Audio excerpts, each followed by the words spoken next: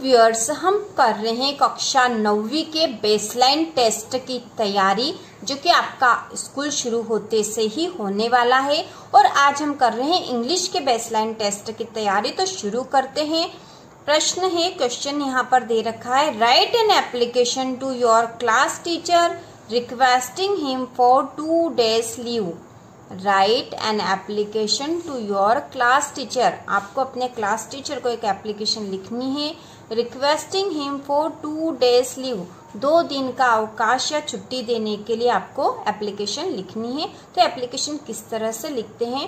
तो एप्लीकेशन से संबंधित वीडियो चैनल पर पहले से ही है। हम ये वाली एप्लीकेशन अभी लिखेंगे। तो इसका आंसर होगा टू द क्लास टीचर उसके बाद यहाँ स्कूल का नाम आएगा। तो आपकी जो भी स्कूल है, उस स्कूल का नाम आपको यहाँ लिखना है। हमने यहाँ लिख दिया है मॉडल स्कूल भोपाल, क्योंकि यहाँ पे जो एप्लीकेशन लिखनी है क्लास टीचर को लिखनी है, इसलिए हमने यहाँ लिखा टू द क्लास टीचर उसके बाद स्कूल का नाम यहाँ आएगा। इसके बाद हम लिखेंगे सब्जेक्ट तो सब्जेक्ट क्या होगा? ये एप्लीकेशन में ही दे रखा है। यहाँ पर क्या सब्जेक्ट है? फॉर टू डेज़ लीव दो दिन के अवकाश के लिए लिखनी थी हमें। तो हम यहाँ सब्जेक्ट में लिखेंगे फॉर टू डेज़ लीव इसके बाद हम लिखेंगे सर या मैडम, जो भी आपके क्लास टीचर हो, उसके अनुसार आपको लिखनी है। यदि आपके क्लास टीचर मैडम है तो आपको यहाँ पे M A D A M madam लिखना है, ठीक है? उसके बाद हम लिखेंगे with respect I am a student of class ninth A of your school तो यदि आपकी स्कूल में सेक्शन नहीं है तो ए बी सी आपको नहीं लिखने, केवल नाइन्थ ही लिखना है। With respect I am a student of class ninth of your school I am suffering from fever last night तो हमने यहाँ लिखा है रिस्पेक्ट मतलब आदर के साथ I am student of class ninth A of your school मैं आपकी स्कूल का, नौवीं का स्टूडेंट हूँ. I am suffering from fever last night मैं पिछली रात से ही फीवर मतलब बुखार से पीड़ित हूँ. मुझे पिछली रात से बुखार है। So I can not attend the class इसलिए मैं क्लास अटेंड नहीं कर पाऊँगा या कक्षा में नहीं आ पाऊँगा। Kindly grant me two days leave कृपया मुझे दो दिन का अवकाश देने की कृपा करें। थैंकिंग यू धन्यवाद। और यहाँ क्वेश्चन हमें टू डे से लिखा था। यदि थ्री या फोर डे हो तो हमें यहाँ पे, हमें यहाँ पे जहाँ एप्लीकेशन हम लिखेंगे, यहाँ पर हमें इसको चेंज कर देना। जितने दिन की एप्लीकेशन लिखने का लिखा होगा, उतने ही दिन का हमें यहाँ लिखना है। तो यहाँ पे क्वेश्चन में टू डेज़ लीव था, इसलिए हमने टू डेज़ लीव लिखा है। Kindly grant me two days leave thanking you और उसके बाद यहाँ हमें एप्लीकेशन के इस तरफ़ लिखना है योर ओबीडियंटली आपका आज्ञाकारी, आपकी आज्ञाकारी। उसके बाद यहाँ पर आपको अपना नाम लिखना है, जो भी आपका नाम हो वो यहाँ लिखना है, और उसके बाद यहाँ आ जाएगा क्लास नाइन्थ। तो इस प्रकार से एप्लीकेशन है, आसानी से आप लिख सकोगे इसको। क्लास टीचर के नाम से एप्लीकेशन लिखनी है, और ये क्वेश्चन अधिकतर बेसलाइन टेस्ट में और आपकी त्रैमासिक एग्ज़ाम में आता ही है। वेरी इंपॉर्टेंट है, आपको याद कर लेना चाहिए। बाद अगला क्वेश्चन है what is your name what is your name तो आपको यहाँ पर लिखना है my name my name is तो यहाँ माई नेम इज़ के बाद जो भी आपका नाम हो, वो यहाँ लिखना है, जिसे माई नेम इज़ सोनू एसो एन यू सोनू या मोनू या जो भी आपका नाम हो, वो यहाँ आपको लिखना है। ठीक है अपना नाम यहाँ लिखना है, पूरा नाम भी लिख सकते हो। इसके बाद अगला है in which class do you study in which class do you study तो हम लिखेंगे I study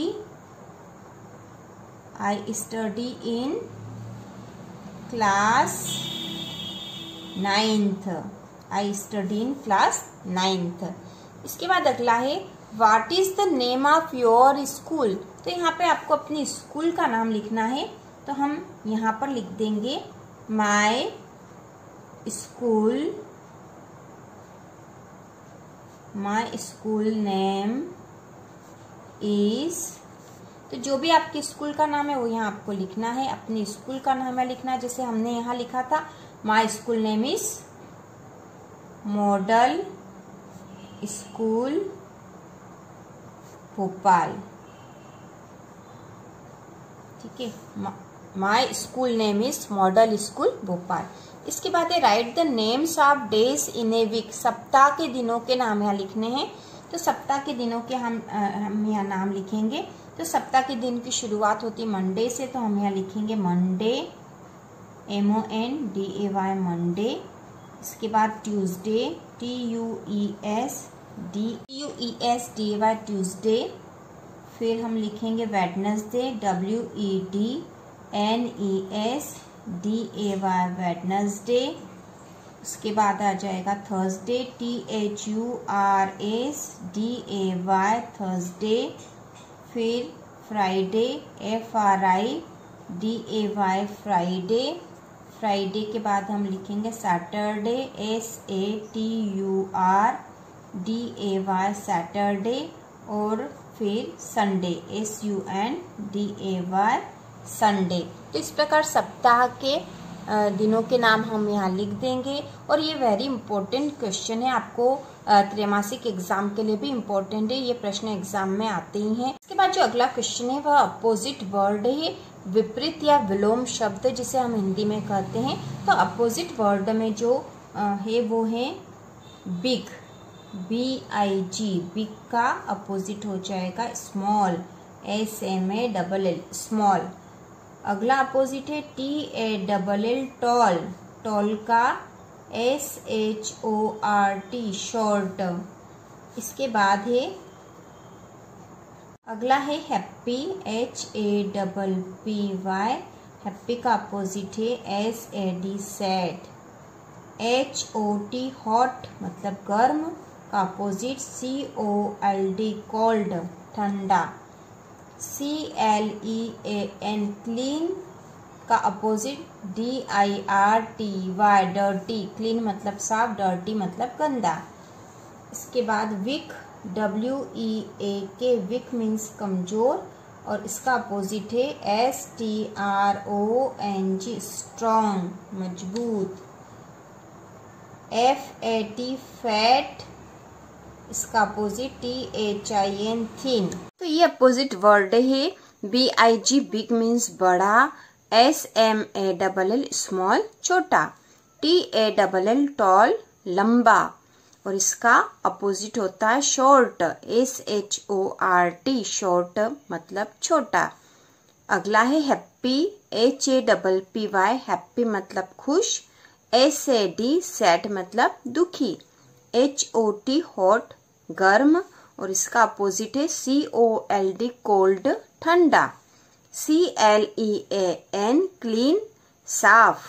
इसका अपोजिट हो जाएगा D I R T Y dirty गंदा।